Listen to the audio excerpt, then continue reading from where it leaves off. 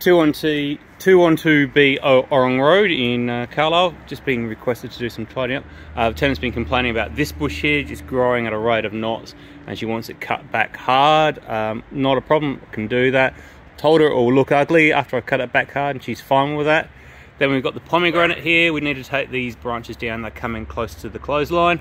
Then we've got the macadamia here and uh, see how far out that's come. We need to take that back to the fence line as soon as we can. And then we've got these trees down the side here. We need to pull them out. And, uh, and we have this uh, lemon as well coming over the fence, causing all sorts of issues. We need to cut that back and look, there's more of those trees coming down the side there.